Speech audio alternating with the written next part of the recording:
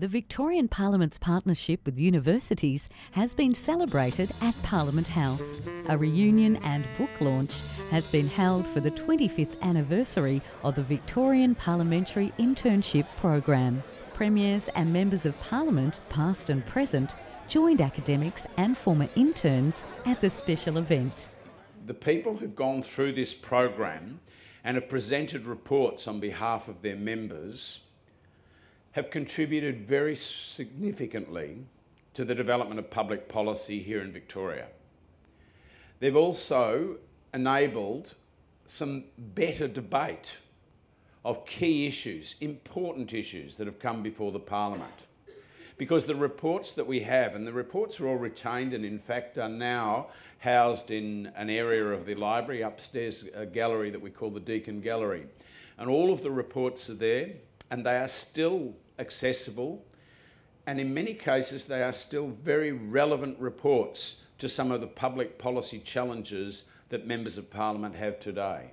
More than 1,000 students from three Victorian universities have participated in the internship program since its establishment in 1990. That includes Premier Daniel Andrews, a graduate of the program.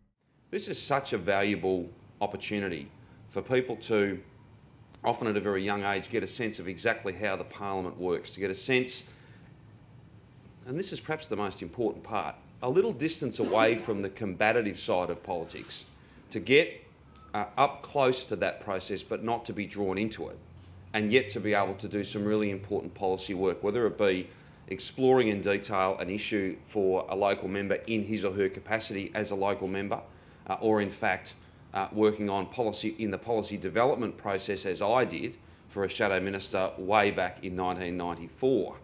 Uh, I think that everyone should be very proud of the opportunities they've provided to generations now of uh, students, uh, many of whom have gone on to play lots of important roles, many in varied roles. Coordinated by the Victorian Parliamentary Library and Information Service, the internship program is a partnership with Melbourne, Monash, and Victoria universities. A number of the participants I've spoken to have said to me that one of the things they've enjoyed the most is the opportunity for interaction with academics and students from the other universities to actually reap the benefits of different intellectual and academic perspectives and different backgrounds. The work of politics indeed never ends and it must be renewed constantly through new people and new ideas.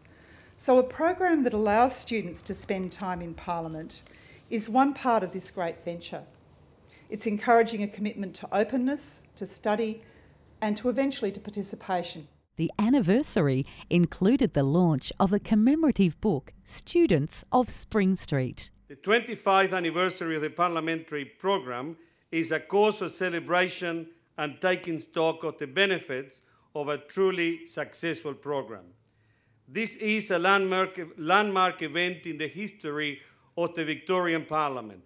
We've seen many members benefit from the program. In fact, a grand total, I understand, of 242 of our members have hosted interns over these 25 years. The success of the program will see it expand to more universities in 2016.